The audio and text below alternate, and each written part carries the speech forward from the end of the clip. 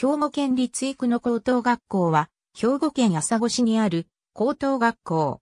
1913年創立の生野町立、生野実家女学校。1943年創立の兵庫県立生野中学校を母体としている。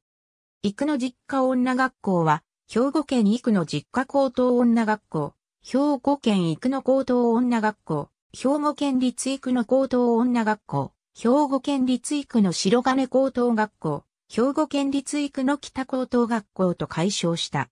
また、生野中学校は、兵庫県立生野南霊高等学校、兵庫県立生野南高等学校と改称している。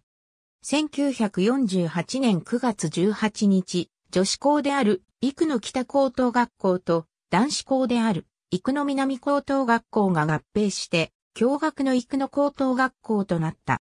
2016年現在、文部科学省から SGH アソシエイト校、英語教育強化地域拠点事業モデル校に指定、兵庫県教育委員会より特別支援学校と高等学校との交流及び共同学習実施事業指定校に指定されている。幾の中学校1期生には政治評論家の竹村健一がいる。普通科は第5学区全域、普通科は県下全域から出願可能である。